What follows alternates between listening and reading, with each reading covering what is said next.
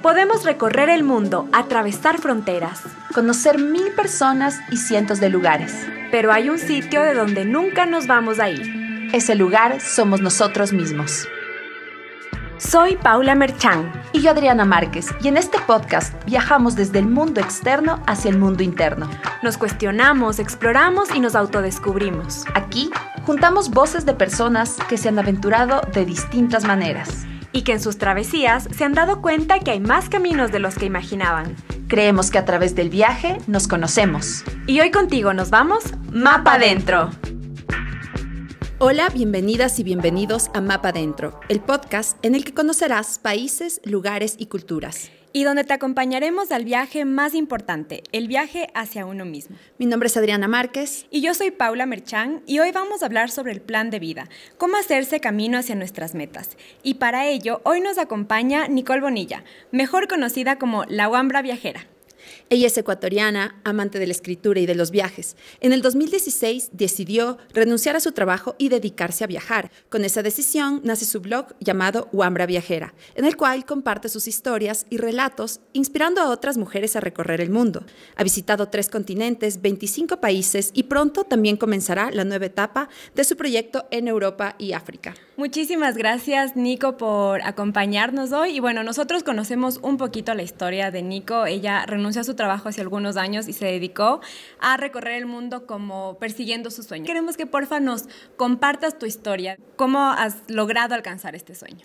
Bueno, gracias por la invitación, chicas, y felicitaciones por este nuevo podcast. Yo siempre quise viajar por el mundo y esto empezó como hace unos ocho años atrás, en el que siempre cada 15 días decidía como irme de vacaciones, pero con el pasar del tiempo y los años me di cuenta que 15 días no eran como lo suficientemente eh, grandes o amplios para satisfacer como toda esta curiosidad que tenía por conocer el mundo. Y cuando tuve 25 años y eh, tuve como la oportunidad de empezar a ahorrar más dinero, en ese tiempo trabajaba en una universidad, tenía un sueldo que me permitía ahorrar bastante. Eh, decidí como empezar como toda esta planificación, ¿no? De ahorrar, ahorré el 70% de mi sueldo durante un año y con todo ese fondo que hice, eh, un día decidí comenzar esta gran aventura que fue la vuelta al mundo que comenzó en Filipinas. Y cuéntanos, ¿cómo te diste cuenta que esto era lo que a ti te movía, lo que tú querías hacer eh, de tu vida? Bueno, em, en algunas ocasiones que he tenido la oportunidad de compartir como lo que ha sido em, el tema de mi blog en unas charlas que di aquí en Ecuador, estaba pensando si es que pudiera definir como un momento exacto en lo que, o sea, en el que este deseo pasó. Y realmente es que no encuentro un momento, o sea, fue como periódicamente alimentándose esto y yo pienso que siempre tuve un interés por lo exterior, por lo extranjero. Tuve varios amigos de diferentes países que eran como mi vínculo, mi conexión con el hacia afuera que no era posible cuando tenía 18, 19 años. Pero eh, poco a poco empecé a salir, como les decía, viajes de 15 días. Me fui a Latinoamérica, Perú, Colombia, Bolivia pero estas ansias eh, no paraban y ahí fue cuando yo dije, no, yo quiero hacer esto de una manera como mucho más permanente, más prolongada y quiero saber qué se siente el vivir viajando. A mí me llamó un poco la atención cuando tú mencionaste que decidiste seguir un sueño, decidiste, decidiste ahorrar. Esa palabra decisión, ¿cómo has hecho para mantenerte en esa decisión? Cuando empecé a ahorrar es, fue súper fácil varias veces como taparme los ojos y decir, o sea, me voy a gastar el dinero, pero para mí el ahorro, y siempre lo he dicho, como en mis redes sociales, ha sido parte elemental de mi proyecto. Y yo siento que desde que aprendí a ahorrar, mi vida cambió, porque eso me da como mucha más libertad. Entonces, tuve la decisión, como tú utilizaste esa palabra, de eh, ser firme a las cosas que quería y de proponerme cumplir una meta y lograrla y así eh, salir a viajar. Creo que también es muy importante el tema de priorizar lo que uno quiere hacer, porque en el momento que tal vez uno malgasta en algún sentido el dinero, luego el llegar a tus sueños se convierte como en algo un poco dilatado, ¿no? Sí, o sea, yo me di cuenta que cuando yo tomé la decisión de viajar, tenía que dejar cosas que sí me hacían como feliz en ese momento, por ejemplo, como salir a comer con mis amigos, pero yo me daba cuenta que mensualmente gastaba como 250 dólares en comida, afuera, en las noches. Y no era necesario. Entonces, si quería salir a, a viajar, tenía que eliminar todas esas clases de gastos y cambiar por otras cosas que también me daban felicidad, como comer en la casa, por ejemplo, pero eran cosas que tenía que hacer si yo quería vivir viajando. Eh, por ejemplo, tú cuando empezaste a ahorrar, tendrías unos cuantos años? 24. 24. Uno de los 24 años como que se está graduando recién de la universidad. O sea, tuviste tú una mente súper clara para saber lo que querías. Lo que pasa es que, bueno, yo empecé a trabajar desde los 18 años. Ya a los 21 años tuve la suerte y la dicha de ganar más que mis papás.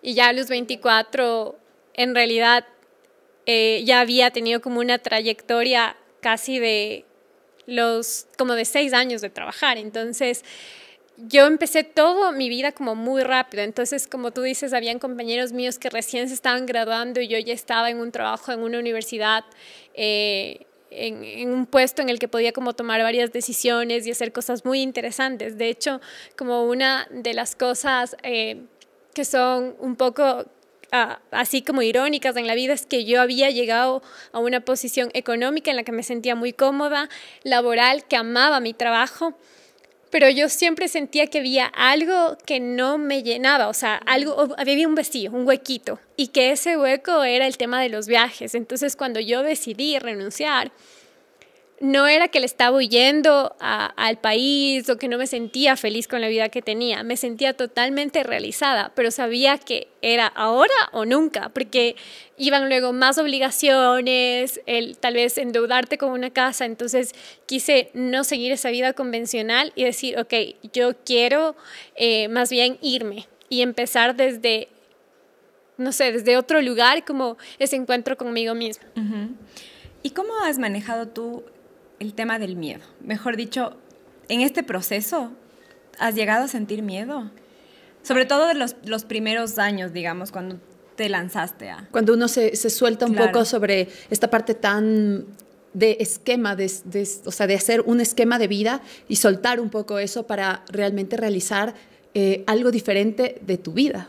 Yo tenía miedo al fracaso, porque si algo me ha enseñado este viaje es a redefinir la palabra éxito. Para mí éxito era tener un trabajo en el que me pagaban súper bien, sentirme llena con lo que hacía, que, o sea, que mi trabajo comparta como mis valores éticos, pero siempre era anclado a una posición económica. Y ahora, o sea, este viaje me ha dado como una redefinición de esta palabra y es hacer lo que quieras, lo que te haga feliz en el lugar que tú quieras, que no tiene necesariamente que ver con el dinero. Entonces... Em, Pero sí necesitas, sí necesitas como una base económica para sentirte segura también. Claro, o sea, eh, totalmente eso. Como yo les digo, yo salí con un ahorro que me permitía no trabajar un año. De hecho, yo como que me pagaba una especie de sueldo.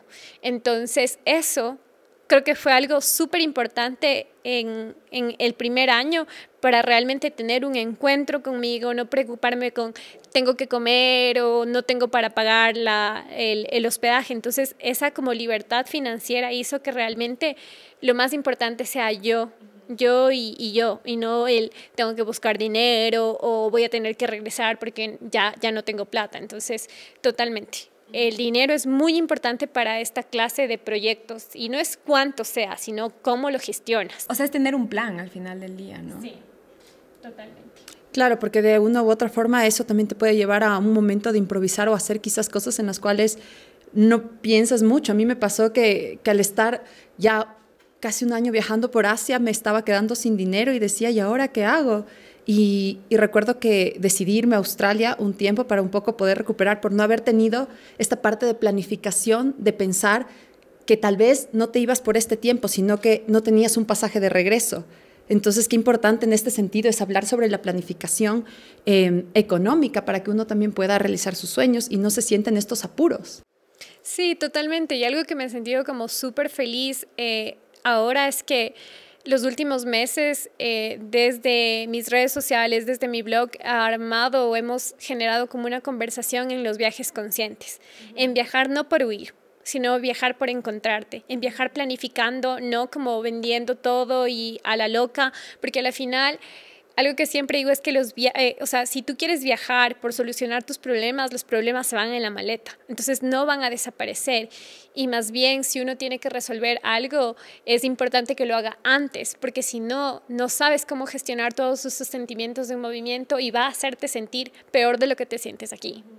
Eso nos lleva a una pregunta que teníamos planificada para después, eh, pero ya que tomas el tema, ¿cómo manejas eh, tus frustraciones en este caso estando lejos de casa? Porque al final del día, ¿tú consideras a Ecuador tu casa?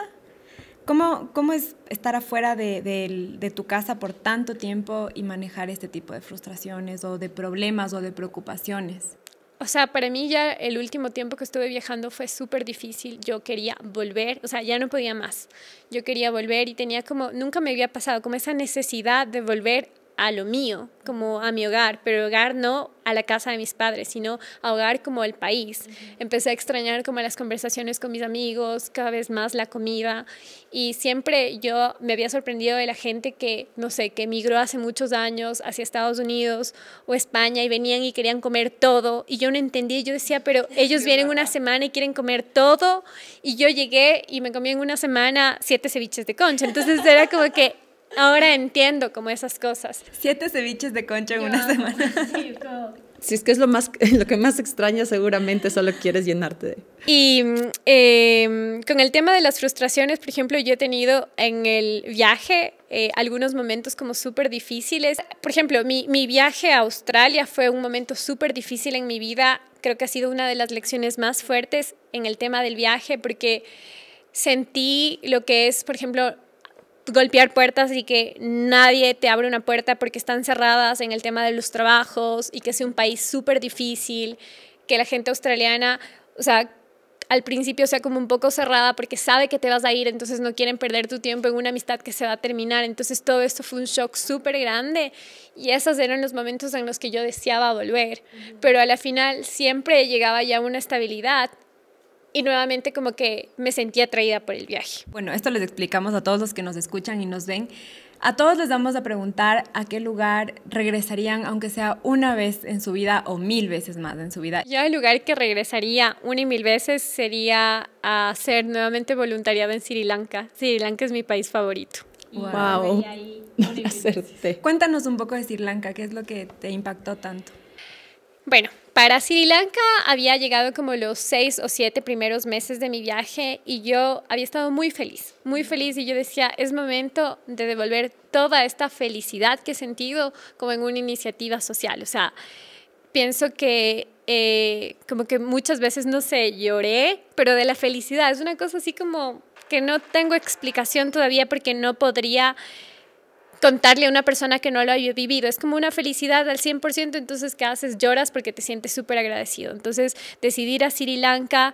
Em, a un voluntariado en el campo en medio de la nada con niños. Yo para ese entonces yo había aplicado con un proyecto de arte y yo no hablaba todavía muy bien inglés, entonces yo llegué y le dije, este es el proyecto de arte al director y me dijeron, ¿sabes qué? Renunció el profesor de inglés, nada de arte, te va, a, te va a tocar enseñar inglés. Y yo les decía, pero yo inglés, yo no sé. Y me decía él, no importa, tú hablas mejor que los niños, te lo aseguro. Y así comencé. Fue una cosa bellísima. Tuve la oportunidad de enseñar como a unos 50 niños entre unos 8 y 12 años los días sábados y los días de lunes a domingo iba a sus casas. Entonces iba a cada casa de niños y los niños cercanos de como el pueblecito se reunían y eran como un total de cinco o seis niños por día. Em, el no vivir en un lugar turístico, esta experiencia fue maravilloso porque uno se siente tan agradecido por las cosas. Primero se da cuenta que los niños y en, en, este tipo de áreas se contentan con cosas tan simples como jugar con palitos y piedras y yo tuve la oportunidad de vivir con la familia del director y un día como que preparé papas fritas y ellos no sabían lo que eran papas fritas. Y para mí fue eso como un shock, porque es como algo tan alejado a nuestra realidad, pero a la final que hay tantos puntos de encuentro y esos niños como que me dieron tanto amor que yo me sentí como, no sé, como que de alguna manera sané otras cosas, así como desde el inconsciente con esa experiencia. Así que siguiendo las huellas de Nicole, aquí van algunos datos sobre Sri Lanka. Marco Polo la definió como la isla más bonita del mundo. es el país de los campos de té, de los casi 6.000 elefantes protegidos, de los budas gigantes y de la enigmática gran roca Siriguilla. Sri Lanka, la antigua Ceilán, la perla del Índico, la de los mil nombres. Un pedazo de tierra lleno de selva, playas y montañas, ubicada a un salto de la India, justamente frente al extremo suroeste. Por esto, también la llaman lágrima de India o de Buda. Sri Lanka vivió una larga guerra civil de 26 años que acabó en el 2009. Es fuerte, mística, exótica. Su nombre sánscrito significa isla resplandeciente. De hecho, le sobra luz. Y su capital es Colombo. Este país es el principal exportador de té del mundo. Tiene el ingreso per cápita más alto de Asia Meridional y el turismo juega un rol especial en este sentido. En los últimos años ha sido varias veces elegida como destino estrella. La mayoría de su población es budista pero también hay hinduistas, musulmanes, cristianos, una mezcla de religiones conviviendo en total armonía. Algo que nos encanta de esta isla es Sirimavo Bandaranaike, considerada la primera mujer al mando de un gobierno en el mundo moderno y elegida tres veces como primera ministra de la República Democrática Socialista de Sri Lanka entre 1960 y 2000. Fue líder del partido Freedom Party por cuatro décadas. Posiblemente muchos de ustedes reconozcan Sri Lanka a través de fotografías fascinantes y simbólicas de los pescadores zancudo, hombres que clavan unas estacas llamadas ritopana en el mar y se sientan por horas de horas en un pedazo de madera a pescar. Esta tradición aún se encuentra en la costa sur de la isla. Uno de los viajes más inspiradores para explorarla es hacerlo en tren, atravesar sus exuberantes paisajes que cambian de color entre verdes, turquesas, azules, terracotas y nos envuelven a la vez en su aroma a canela y coco. Y ahora volvemos a nuestra conversación. A ver, Nico, bueno, continuando un poco con las preguntas. Por lo que hemos leído y lo que nos ha llamado mucho la atención en tu blog, es cómo planificas tus viajes, tu presupuesto. ¿Tienes algunos métodos que podrías compartir con nosotros y con las personas que nos escuchan y nos ven sobre ellos? Ok, eh, yo pienso que, eh, como les había mencionado antes, el ahorro es parte fundamental y no lo tomen como un martirio de, ah, tengo que ahorrar, sino como disfruten de este proceso. Eh, cuando yo eh, lo hice, por ejemplo, me abrí una cuenta de ahorro programado y le puse a la cuenta el viaje de mis sueños y todos los meses iba depositando el 70% de mi sueldo feliz. El 70 es un montón. Es bastante. O sea, yo fui súper radical. Y bueno, que yo vivía en la Amazonía, no tenía nada en que gastarme también. O sea, era muy fácil ahorrar. Y también les digo a las personas que encuentren como el propósito de su viaje, que creo que esto es eh, la esencia o el corazón eh, que va a hacer que se motiven también, el por qué quieren viajar, qué tipo de viaje quieren, cuáles son sus negociables y cuáles son sus innegociables. ¿A qué te refieres con eso? Cuando digo negociables e innegociables es a, qué, estás qué dispuesto a hacer durante eh, tu periodo de viaje.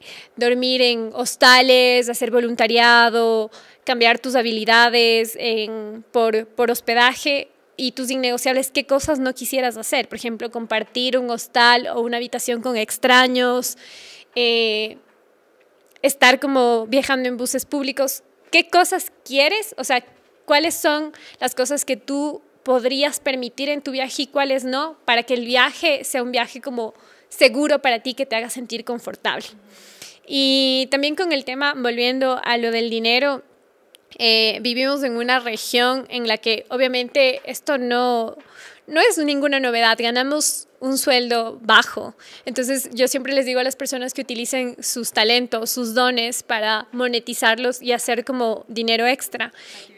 Y lo que yo hice fue hacer dos mercados de pulgas. O sea, en el uno fue participante y en el otro yo lo organicé y saqué mil dólares. Y eso fue como para mi primer pasaje a Filipinas y me sobró dinero. Entonces, que no se limiten por el dinero, sino que siempre busquen como esa creatividad desde las cosas que les hace ser diferentes. Ahora que ya estás algunos meses en Ecuador, ¿cuánto tiempo estás aquí? Voy a cumplir tres meses. ¿Cómo ha sido este proceso de volver a casa? ¿Qué has conocido de ti al regresar a casa? ¿Qué es lo que tal vez ya no te gusta o lo que ahora valoras más, por ejemplo? Una cosa que siento que lo he superado era como el miedo a caminar sola. A mí me daba mucho miedo caminar en la calle porque recuerdo que una vez me robaron cuando tenía 18 años y eso hizo algo algo que marcó mi vida. Entonces tenía como mucho miedo a caminar sola y ahora después de haber estado en países tan seguros, me siento como más cómoda aquí, aunque sé que también puede pasar algo, pero ya como que me relajo más en eso. En otra cosa que igual como que sentí una gratitud enorme al venir es en ver que mi familia está sana, o sea, fue así como un reencuentro súper bonito y, y a valorar que esas personas, aunque estén lejos de ti, con solo un abrazo, nuevamente piensas que el tiempo no ha pasado. ¿Sientes algo ahora emprendiendo tu, nuevo, tu nueva etapa del proyecto? Al irte debe ser una, una mezcla de, de, entre emoción y también un poco de nostalgia, de dejar todo lo que amas y te entiendo totalmente, pero, pero cuéntanos qué es lo que sientes en este momento, que, que estás empezando una nueva etapa. Ahora que estoy planificando nuevamente un viaje, lo que siento es que hacer un viaje con fecha de inicio y sin fecha de final es súper peligroso porque es como una especie de, de, algo que te atrae, o sea, algo que es un vicio, que, que, tú comienzas y luego quieres parar y no puedes y siempre estás en búsqueda de explorar más. Entonces, estoy feliz de irme, pero al mismo tiempo triste eh, porque soy una persona súper como hogareña, me encanta el encuentro con mis amigos, las conversaciones con mi familia. Entonces, es como que siempre mi corazón ha estado dividido entre esa parte de la Nicole hogareña y la Nicole viajera, que son dos dualidades completamente opuestas que todo el tiempo están peleando. Pero ahora que eh, estoy ya organizando un viaje eh, a Brasil ya en un mes y medio, estoy feliz de que siento que voy a seguir explorando y que mi familia va a estar aquí esperándome nuevamente feliz para que llegue. Y un poco hablando del tema familiar, eh, a mí me pasa que cuando yo me voy de viaje, me siento un poco culpable de dejarles aquí a mi familia, como que me siento responsable por Te ellos. entiendo tanto. ¿Cómo, ¿Cómo manejan, una pregunta para las dos, cómo manejan esto de, de estar lejos y, y, sentir que yo siento a veces que si es que yo no estoy aquí, algo les va a pasar a mis papás, a mi hermano, como no sé por qué, desde chiquita siempre he sentido eso. Entonces, ¿cómo manejan ustedes esto? No sé si es que llamarle culpa o inseguridad de que les vaya a pasar algo a nuestros seres queridos mientras estamos lejos?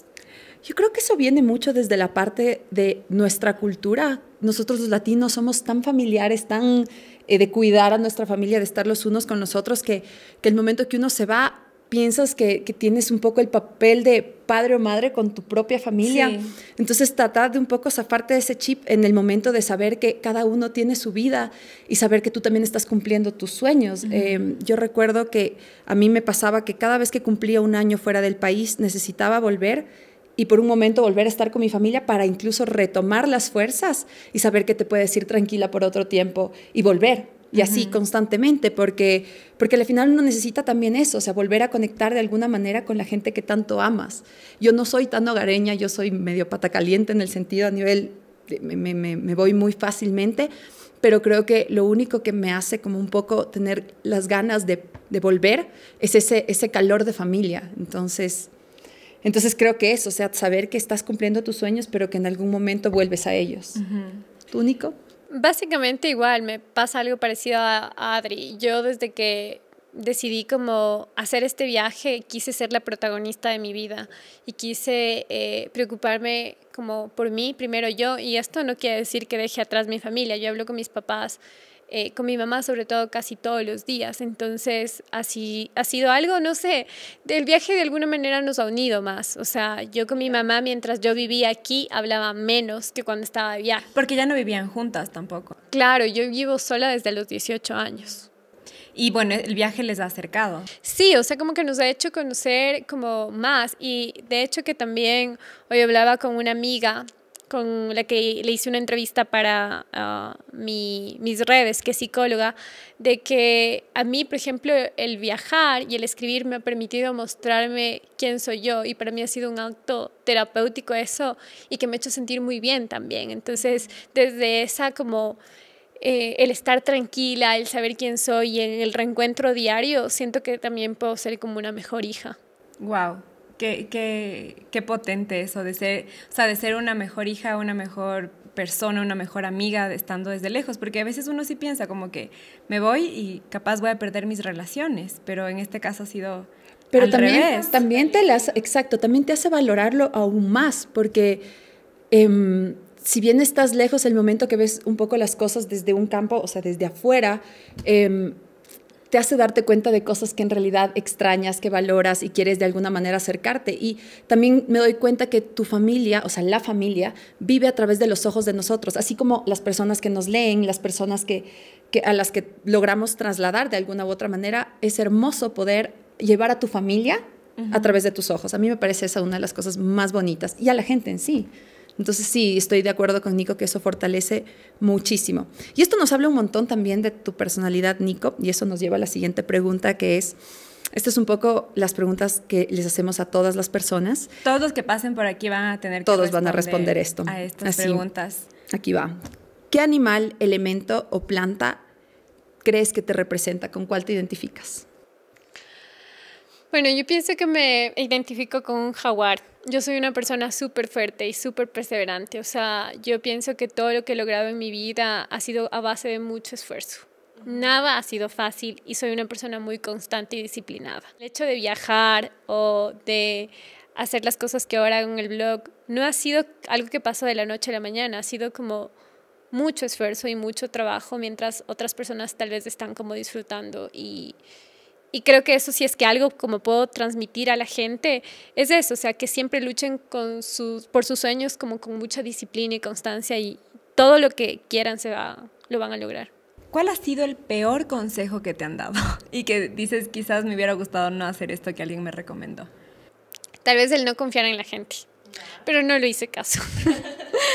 eh, nosotros como decía antes, como que venimos de una parte del, como del mundo que es bastante violento sin saberlo y crecemos con la idea de no hablar con extraños, de si alguien te pregunta algo, no responder porque puede ser peligroso. Y sobre todo como mujer, ¿no? Sí, o sea, que nos pone definitivamente en el mundo en eh, como en una situación más vulnerable pero en las zonas en las que yo he explorado, creo que una de las cosas que me ha hecho conectarme mucho conmigo misma ha sido la confianza con otras personas. Nosotros eh, como que sacamos afuera nuestros miedos y eso atraemos. Entonces, por ejemplo, yo he tenido, creo que una o dos como malas experiencias en el viaje que han sido muy ligeras, que lo he sabido como manejar, no sé, tratar de manejar sin que me afecte, pero he tenido como muy buenas eh, experiencias en países que para una mujer es complicado y la única razón o como yo puedo explicar eso es que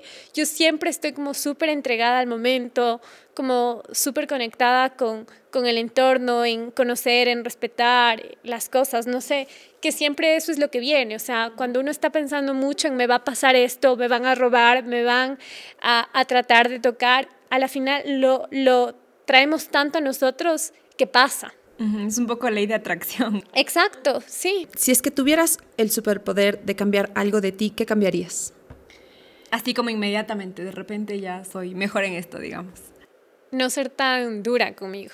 Porque siempre estoy como exigiéndome hacer como las cosas bien y más. Y al final llega un punto en el que también creo que de la imperfección uno puede aprender un montón. Porque las cosas perfectas, una frase que se me quedó mucho, que fue en mi último trabajo, es que eh, como lo perfecto es, es amigo de lo bueno, enemigo. de lo bueno, porque siempre como que le das a las cosas tantas vueltas que en vez de dejar que salgan simplemente. Entonces, pienso que sería esto de el la, perfección, o sea, como que dejar que las cosas sean como imperfectas y desde esa imperfección irlas trabajando para que sean mejores. Y también retomando una pregunta que contestaste hace un momento que decías que muchas veces las personas, em, que tu consejo sería que trabajen muy duro por las cosas, em, que no se olviden también de disfrutar, que no se olviden de soltar, porque eso es parte también de la imperfección, del dejarse fluir, del, del ser de alguna u otra manera.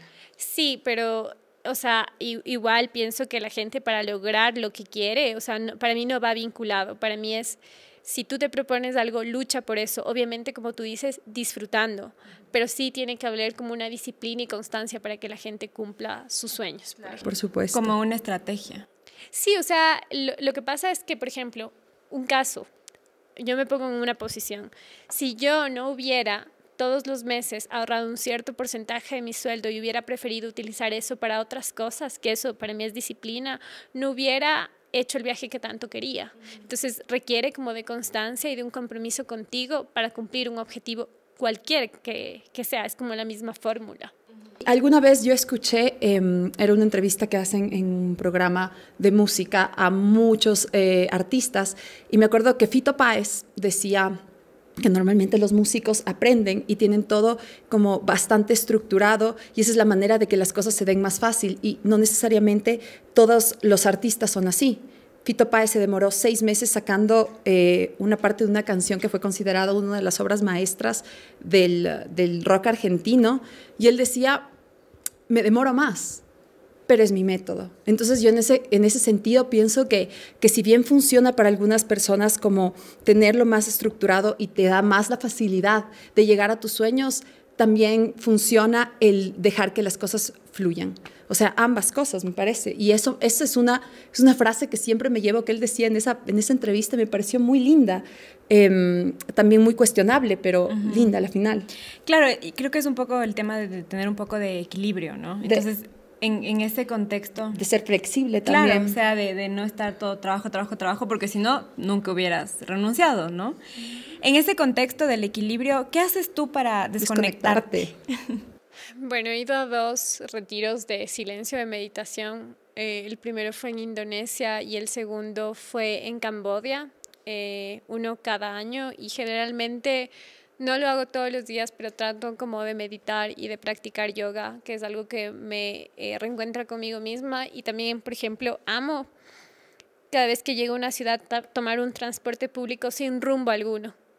Y me subo en el bus y me pongo a ver, siempre vas del lado de la ventana y solo veo y me desconecto totalmente y cuando ya me aburro me bajo. Sin celular, sin nada, solo tú. Solo Google Maps para saber cómo regresar, pero no, o sea, simplemente viendo a la gente. Siempre me ha gustado explorar. Lindo, subirte a un bus sin rumbo y solo... En una ciudad, ajá, y o sea, como que me parece increíble. O cuando hay trenes, hago en los trenes también. Y es como una manera como de explorarte y explorar la ciudad porque vas viendo como los árboles, los edificios y te vas, la gente, me encanta ver gente, o sea, yo soy de esas personas que se puede sentar en un parque y ver todo el día personas, moverse a los animales, me encanta como mucho observar y creo que esa es como mi clase de meditación, lo que hace que me desconecte. ¿Qué libro recomiendas o qué libro estás leyendo en este momento o te volverías a leer? Bueno, hay un libro que me encanta, me gusta mucho la literatura asiática em, y se llama Platonic Sex. Es un libro muy bueno y sí, o sea, como que pienso que la gente que no tiene como el hábito de la lectura y que quiere empezar con un libro así que le enganches de la primera hoja sería ese. ¿De qué se trata?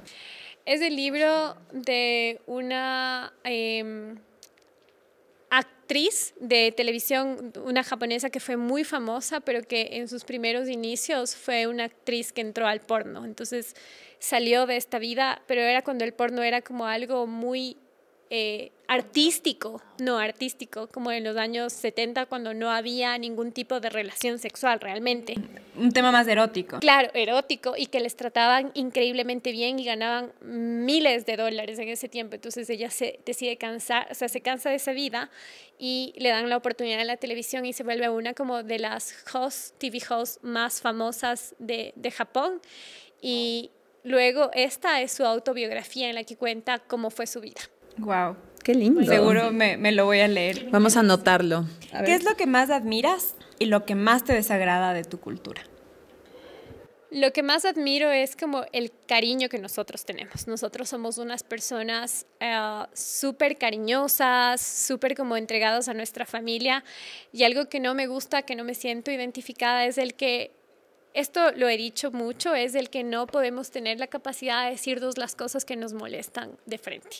O sea, esto es una cosa que justo hace algunos años como lo vengo practicando y ha sido algo súper duro al principio cuando tú quieres decirle a alguien, esto me molesta de ti. miedo que a que la persona se lo tome personal. Se enoje.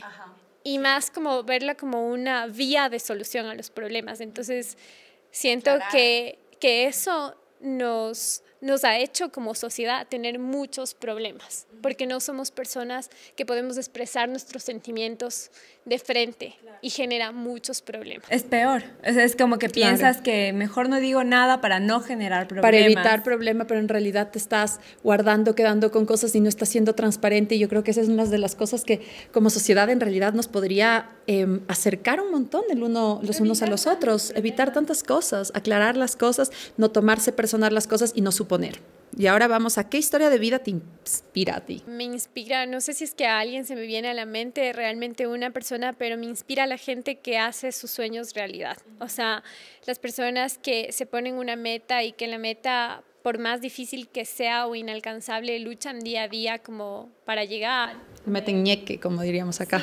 como que me, me, me causa tanta inspiración eso, o sea, es una cosa que me siento totalmente como atraída y ahora como relacionada a los viajes, creo que mi inspiración más grande fue como, no sé, como los blogueros de viaje, como Anico Vidalba, que fue una persona que decidió abrir su vida a lo público y inspirarnos a través de sus relatos, siendo una persona tan introvertida.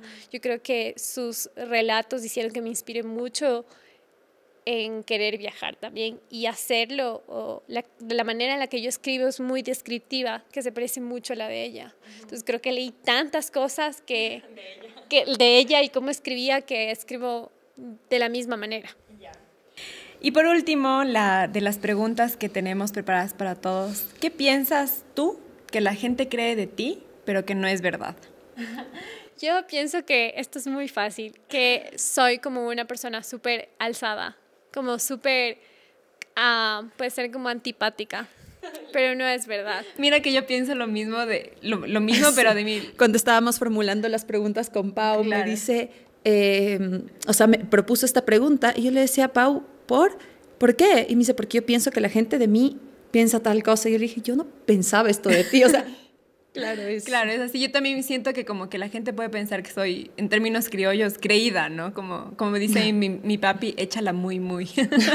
sí, pero ya luego la gente se da cuenta que al conversar conmigo, o sea, a los minutos, que nada que ver. O sea, tal vez es les cuento esto porque una historia súper pequeña. Eh, un día un compañero mío del trabajo me invitó a comer, entonces yo le dije que nos encontremos para comer alitas, barbecue, y él me dijo que sí, que estaba feliz. Entonces él llegó así súper elegante vestido en el tema y yo le llevé a comer como unas alitas de un garage de una señora. Entonces él me decía que él no podía creer cómo él me veía llegar al trabajo, todo así como impecable y que estábamos comiendo en un garage de una señora y esa soy yo, o sea, soy como súper como simple, me gusta la simpleza, pero puedo tener como una imagen solo al verme como distinto, porque no sé, o sea, porque lo que uno es tal vez no, no lo representa a nivel físico o expresivo, yo soy súper seria. Entonces la gente puede decir que enojona, pero ya luego me hablan y ya sonrío y es no, o sea, ni siquiera se da cuenta. Claro. Qué importante es em, darse el tiempo de conocer a las personas más a fondo para, para salirse un poco de estos, de este, de este tema de los estereotipos y las apariencias, que a mí me parece que eso es una, una especie de mapa dentro. Sí, de mapa dentro y mapa dentro de todos. Tengo una pregunta extra para ti. Em, ¿Qué ha sido lo que los estereotipos, justamente hablando de los estereotipos, qué estereotipos se te han caído durante tu viaje de tres años? No sé, digamos que los chinos son así o que los tailandeses son así. Ah, que Asia es un continente pobre. O sea, cuando yo veo, bueno, todo el mundo sabe que Singapur es una superpotencia, pero cuando veo Malasia, Vietnam, Tailandia, son unas superpotencias asiáticas, ver todos esos edificios eh, es increíble, o sea, y nosotros tenemos primero la concepción o hacemos súper mal en decir que todos los asiáticos son chinos y que la gente en Asia es pobre, o sea, eso no es verdad. Y la segunda también que la derribé conmigo misma, que uno no puede como viajar largo o vivir viajando y viajar bien. Creo que eso yo lo he roto conmigo mismo porque yo pensé que eso no era posible y yo, aunque trato de gestionar con inteligencia mi presupuesto, nunca me privo de algo. O sea, si quiero algo, conocer un país o comprarme algo, lo hago y he aprendido a hacerlo sin culpa también, porque no sé, tenía un lío ahí con la escasez hace unos años que compraba algo y sentía así como una cosa en el pecho que quería luego ir a devolver la cosa.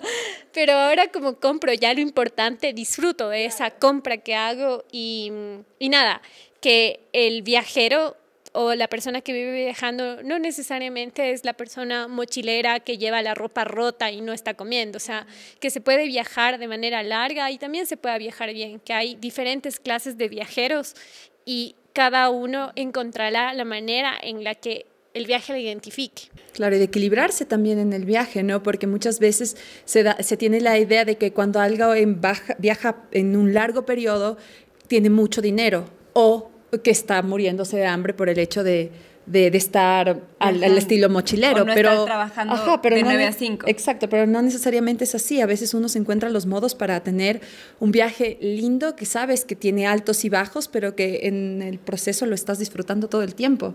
A veces yo siento que, por ejemplo, las redes sociales, mucha gente, blogueros, influencers, nos, nos dicen así como, nos cuentan su historia de que renunciaron a su trabajo y se, se fueron a dar la vuelta al mundo. ¿Tú recomiendas que la gente haga eso o hay que tener cuidado con este tema de renuncio y, me voy por el mundo? Porque se ha vuelto algo muy, muy, por así decirlo, em, popular, renuncié a mi trabajo y le fui a dar la vuelta al mundo. Entonces nosotros nos cuestionábamos la otra vez y decíamos, pero ¿qué tanto llega a ser este un, un consejo para todos al menos? O sea, en mi blog el tema que tratamos es esto de los viajes conscientes y no tiene nada malo que la gente renuncie y vaya a dar la vuelta al mundo si esta es una decisión consciente y planificada. El hacerlo, o sea, he conocido mucha gente, tal vez no muchísima, pero sí gente que vende todo y empieza como a viajar y no encuentra como el concepto de viajero, sino de turista y se gasta todo el dinero que gana, o sea, que su, casa, su, su, su, liquidación en uno o dos meses. Entonces, eh, pienso que claro, todo lo que construyó. Entonces, pienso que es como súper importante, si quieres renunciar, a hacerlo, pero también aprender a que es una vida en movimiento, una vida llena de como eh, momentos felices, momentos bajos, altos, y que uno tiene que eh, estar preparado para eso, ¿no? Y que si es que no lo está, primero arreglar como todo eso interno antes de decidir, como aventurarse a algo desconocido. Es lo que tú decías, esto de que los, los, problemas viajan contigo igual. Sí, exactamente. Entonces el viajar no es huir, el viajar es reencontrarse. Nico, muchísimas gracias por acompañarnos. Nos ha encantado conversar contigo y, y, conocer todas tus historias y conocerte a ti más a fondo.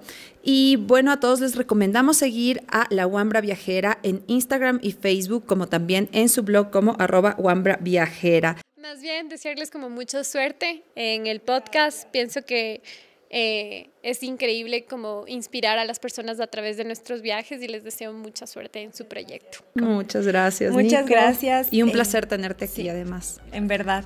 Bueno, también le queremos agradecer a la Universidad Católica porque este podcast no sería posible sin la el convenio, la ayuda, la alianza que estamos haciendo con ellos. Muchísimas gracias a la Universidad Católica. Y bueno, si quieren que hablemos de algún tema específico, que entrevistemos a alguien, nos pueden contar a través de nuestras redes sociales. Nos pueden encontrar en Instagram y en Facebook y en nuestro canal de YouTube como arroba mapa dentro. Y si te gustó este programa, compártelo para que llegue a muchas más personas. Muchas gracias por acompañarnos. Soy Adriana Márquez. Y yo soy Paula Merchán. Y nos vemos y escuchamos la próxima semana para un viaje Mapa, Mapa Dentro.